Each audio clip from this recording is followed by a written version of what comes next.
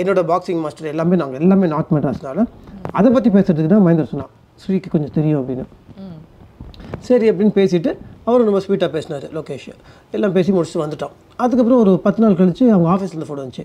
இன்றைக்கி உங்களை வர சொன்னாங்க. நானே நினச்சேன் சரி இதை பற்றி தான் பேச கூப்பிட்றாங்க போட்டுருக்குது சரி அங்கே போனோன்னே லோகேஷ் சார் உள்ளே உட்காந்துட்டு நல்ல கேரக்டருங்க எனக்கு புரியல இப்படியே பாட்டுருக்குறேன் அதனால் நான் வந்து உங்களை விஜய் சேதுபதி சார் கூட போடலாமா? இல்லைன்னா ஃபகத் சார் கூட போடலாமான்னு யோசிச்சுட்டு இருக்கிறேன். பட் ஃபகத் சார் கூட கரெக்டாக இருக்கும். ஹேர் கட் பண்ணாதீங்க. தாடி அப்படியே வச்சுருங்க. நான் வந்து எனக்கு எப்படி ரியாக்ட் பண்ணுறதே தெரில அவரே நினச்சிருப்பாரு என்னடா இவனுக்கு சான்ஸ் தரான் இவன் ஏன் பெப்ப பேன்னு பார்த்துட்டு இருக்கான்னு எந்திரிச்சு கை கொடுக்குறாரு? சூப்பராக இருக்கும். கேரக்டர் நீங்கள் பண்ணிவிடுங்க இதில் ஃபைட்லாம் வரும் அப்படின்னாரு.